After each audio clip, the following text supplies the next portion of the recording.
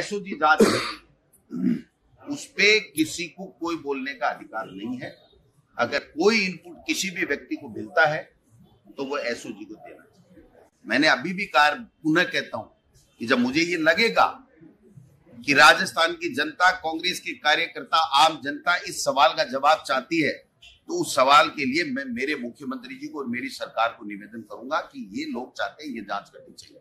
मैंने कहा है ईमानदारी से कि इस बात के ऊपर पूरी तय में जाना चाहिए एसओजी को और पूरी जाँच करनी चाहिए और कठोर कानून बनना चाहिए। आपने सबने देखा था कि जब मुख्यमंत्री जी रीट के दो दिन एग्ज़ाम से पहले जब ले रहे थे तो मैं शिक्षा मंत्री था, मैंने आग्रह किया था कि ऐसे लोगों को बर्खास्त करने चाहिए जो सरकारी अधिकारी, कर्मचारी होते मैंने ही तो कहा था। इससे पहले बीजेपी वाले भी तो कह सकते थे ना। उनकी कथनी और करनी में फ़र्क हमारी कथनी और करनी में फ़र्क हमारे नेचर में ईमानदारी है, हमारे कण कण में ईमानदारी है। हम ये चाहते हैं कि हमारे प्रदेश के युवा, जिनके आशीर्वाद से हम लोग सत्ता में आए।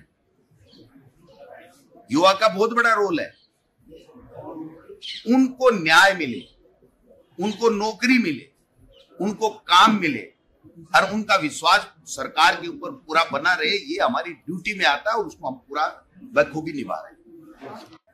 ये एक हो जाए ना, बीजेपी बीजेपी भी तो भी कम से कम इनकी बात सुने तो उसके ऊपर अमल तो करे कोई आदमी।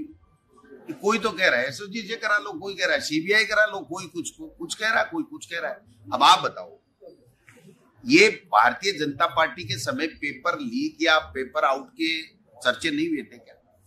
ये जो रीट हुई थी, उसके सत्रह दिन धरने प्रदर्शन चले थे, आपको ध्यान में है? तो वसुंधरा जी आज सीबीआई की मांग कर रही है, उस टाइम तो दोनों कड़ियाँ भी एक ही कर लेती। सीबीआई की जाँच जो वसुंधरा जी आज मांग कर रही है, उन वसुंधरा जी को चाहिए था कि उस टाइम सीबीआई को दे देती तो सारी चीज़ें जो वो, जो सीबीआई से करवाना चाह रहे हैं, वो सारा एक स्टेट दूसरा स्टेट तीसरा स्टेट सब पता लग जाता कौन गिरो क्या है, पूरे हिंदुस्तान में किस तरीके से काम हो रहा है, क्या हो रहा है, क्या नहीं हो रहा है, ये हो जाता कि नहीं हो जाता?